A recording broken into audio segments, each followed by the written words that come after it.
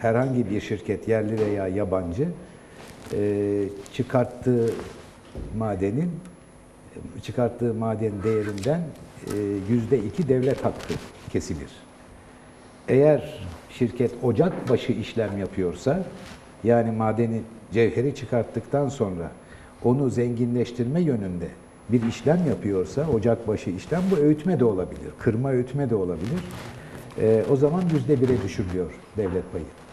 İstanbul'da, İstanbul'un merkezinde güzel bir yerde, işte kampüste bir üniversitede hocasınız. E, bırakıyorsunuz işinizi gücünüzü oralarda. İşte o dediğiniz coğrafyada, ormanda, ne bileyim köylerde geziyorsunuz. Yani neyin e, acısıyla e, bu işi yapıyorsunuz? Yani Bu memleket benim. Evet. Bu memleket benim. Sahip çıkıyorum. Sadece bu. Sahip çıkıyorum. Sahip çıkıyorum. Bu vatan benim. Evet. Ormana, ağaca, yeşile, Evet. tarıma sahip çıkacağım diyorsunuz. Peki bir- Yani e, bazı sanayi girişimlerinde ağaç da kesilir bilmem ne de olur, şu da olur, bu da olur. Ama bu kör kör parmağım gözüne bir yöntem. 16 milyon ton ortalama sülfürik asit kullanacaklar bu işi yaparken ve açık havada. Ve bu, bu işlem sırasında karbondioksit çıkacak. Çünkü toprakta kalsiyum karbonat var, laterit topraklarında hep vardır.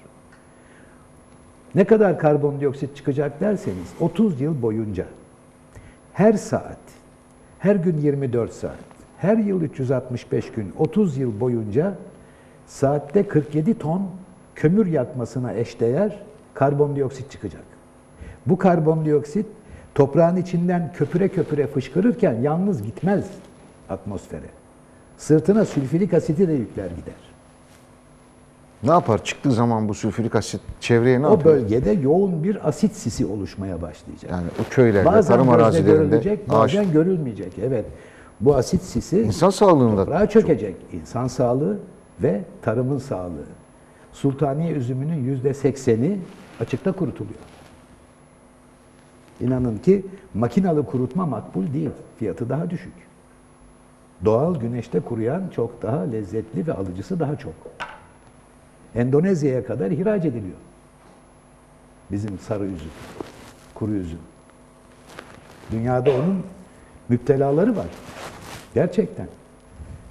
E bu gelirden mahrum olmak ne demektir? Orası için yıkımdır bu. Orası için yıkımdır.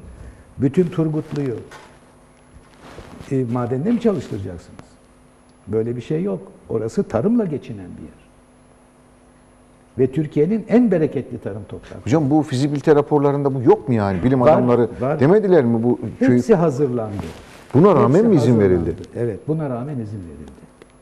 Yani bir mahkeme hukuk süreci yok mu burada? Yani mahkemeler de mi Bir buna? mahkeme kazanıldı. E, orman tahsisi iptal edildi. Tema Vakfı dava açmıştı. E, Danıştay da iptal edildi. Şimdi bir manevra yapıldı. Şirket el değiştirdi. Üç Türk delikanlısı, genç mühendis, bir yerlerde çok büyük paralar kazanmışlar. 40 milyon dolara İngilizlerden kurulu o düzeni Öğrenci. e, satın aldılar. E, ODTÜ mezunu üç tane mühendis. Biri işte Güney Afrika'da, biri Güney Amerika'da para kazanmış. Kömür mü satmışlar, ne yapmışlar bilmiyorum ama sıcak Afrika'da kime kömür sattılar onu da bilmiyorum. Perde arkasında bu yine bu e, şirket evet, var bu kesin. hille hareketi, başka Hille. bir şey değil.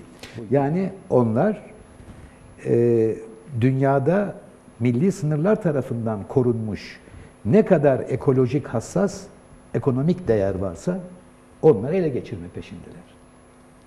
Ve bu konuda İngiltere dünya madenciliğinin amiral gemisidir. Onun için İngiltere Büyükelçisi'nin yaptığı girişimi çok e, tuhaf karşılamadım. Tuhaf ama biliyorum öyle yapıyorlar. Evet. Zaten öyle yapıyorlar. Lobi. Lobisiz olmuyor bu işler. Türkiye'deki kadar bor dünyanın hiçbir yerinde yok. Dünya bor rezervlerinin %70 ila 75 arasındaki kısmı bizim topraklarımızda. Özellikle de Uludağ'ın altına şöyle damla şeklinde bir şey çizerseniz, Uludağ'ın güneyine doğru etrafına da biraz yayarak dünyanın en büyük bor rezervleri orada. Yani e, Eskişehir Kırka'dan alın, Kütahya Emet'ten, e, Balıkesir'den dönün. Yani büyük bir alan içinde e, değişik noktalarda dünyanın en iyi bor mineralleri var. Yani boraks ya da tinkal denilen sodyum borat ve kolemanit denilen ve en çok da nükleer sanayide ihtiyaç duyulan e, kalsiyum borat var. Yani e, temizlenmiş maden olarak satış fiyatı e, çok aman aman değil. Çok yüksek değil bunların satış fiyatları. E, ama bordan, elementer bordan yapılmış ya da metal bor alaşımları var ki e, birdenbire katma değer bin misli artıyor. 100 veya bin misli artabiliyor katma değerin. Çok atabiliriz. İşi ciddiye almak mesele. Sonunda ne oluruz? Biz bu araştırmaların dışında kalarak, bu araştırmaların dışında kalarak dünyaya yakıt üretmek üzere, bor hidrürler üretmek üzere bor madenlerimizi satarız. Onlar üretirler. Onlar üretirler. Aynen rafinerisi olmayan bir petrol ülkesi gibi benzini, mazotu, efendim e, polietileni satın alırız. Ham petrol verip onun pahalı ürünlerini geri satın alırız. Kuruş kuruş hesaplanıyor. Biz bu hesapların dışındayız. Bizde de yakıt hücresi üzerinden elektrik motoru çalıştırmaya uğraşanlar var. Borlu tuzlardan hareket ederek. Ama dediğim gibi çok cılız bütçelerle bunlar işte 100 bin lirayla 200 bin lirayla yapılacak işler değil. Bunlar dev boyutlu işler. Bunların paydaşı değiliz maalesef ve tren gözümüzün önünden geçip gidiyor. Evet. Ve bunun bedelini nasıl ödeyeceğimizi söyledim. Biz ham bor minerallerini satacağız. 20-30 misli fiyatla yakıt satın alacağız. Kendi borumuzun yakıtını geri satın alacağız. Acı bir durum yani. Acı bir durum. Ama biz bu Esas te- bordaki sorun bu. Evet.